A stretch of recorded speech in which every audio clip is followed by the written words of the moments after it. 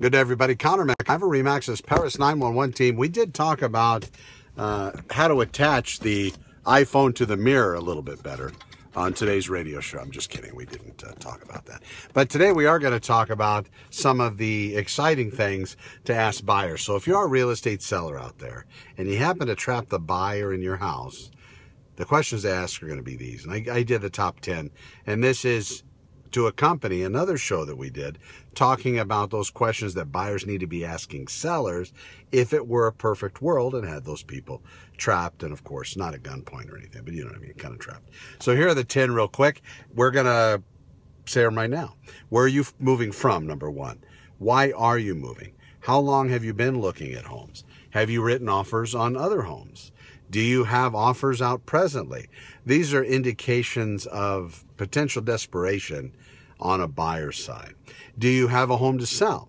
And then a good follow up question is it listed for sale now? Then, you know, tire kicker on the fence person, are they really ready to go?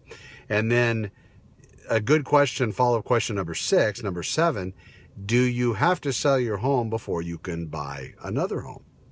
So that's good. It's going to show some buyers out there don't have to. Some buyers out there can purchase residential real estate, another home, in addition to the one they already own, just because they make enough and they have enough uh, funds on hand and debt to income ratio is low. Maybe they already own the home outright, whatever it may be. But it is a good question to ask. Kind of gives you a good idea as far as time frame if they do move on your house. Have you been pre-qualified or pre-approved?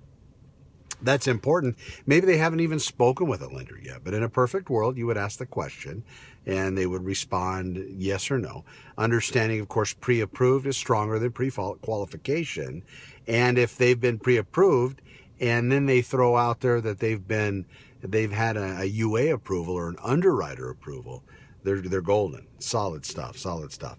And then, of course, what is your type of loan and down payment? That's going to give an indication as to what type of financing they're going to use. So if it's a VA loan, FHA loan, conventional loan, maybe they're putting half down, which makes them pretty solid. Maybe they're putting 20% down, still solid. So all these different loan programs are going to mean things when they do write that offer on your home and you get ready to contemplate accepting that offer the different types of financing might indicate that certain repairs have to be done, certain money has to be spent by you to make the deal actually go through. So these are things to consider.